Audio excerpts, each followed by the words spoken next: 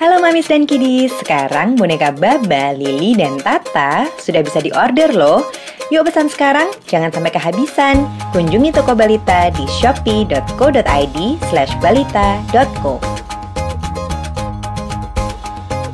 Terima kasih. Jangan lupa subscribe channel ini ya.